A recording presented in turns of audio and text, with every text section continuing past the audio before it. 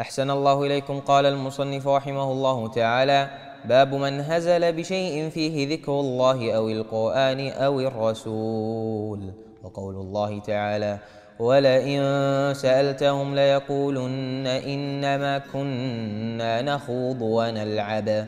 الآية عن ابن عمر ومحمد بن كعب وزيد بن أسلم وقتادة دخل حديث بعضهم في بعض أنه قال رجل في غزوة تبوك ما رأينا مثل قرائن هؤلاء أو غب بطونا ولا أكذب ألسنا ولا أجبن عند اللقاء. يعني رسول صلى الله عليه وسلم وأصحابه القراء.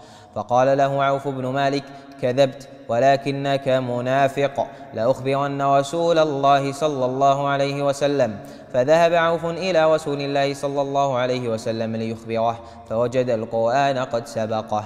فجاء ذلك الرجل إلى رسول الله صلى الله عليه وسلم وقد ارتحل وركب ناقته فقال يا رسول الله. الذي ارتحل وركب ناقته هو الرسول صلى الله عليه وسلم. نعم. فقال يا رسول الله إنما كنا نخوض ونلعب ونتحدث حديث الركب نقطع به عنا الطريق. قال ابن عمر كأني أنظر إليه متعلقا بنسعة ناقة كأني أنظر إليه متعلقا بنسعة ناقة رسول الله صلى الله عليه وسلم وإن الحجارة تنكب رجليه وهو يقول إنما كنا نخوض ونلعب.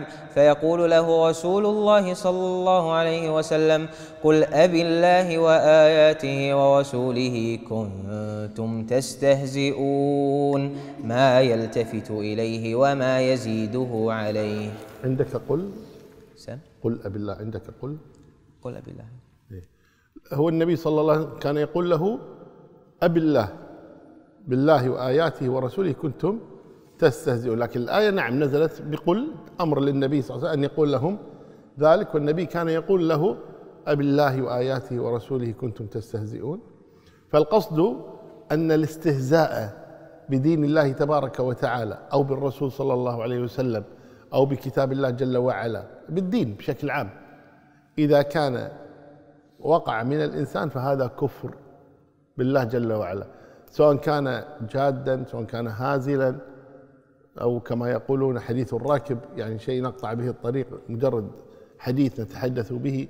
كل هذا غير مقبول أبدا وصاحبه يكون كافرا بالله تبارك وتعالى إلا في حالة واحدة وهي الإكراه. إذا قالها على سبيل الإكراه كما مر بنا في كتاب القواعد. نعم. أحسن الله إليكم فيه مسائل الأولى وهي العظيمة أن من هزل بهذا فهو كافر. الثانية أن هذا تفسير الآية في من فعل ذلك كائنا من كان. الثالثة الفوق بين النميمة والنصيحة لله ورسوله.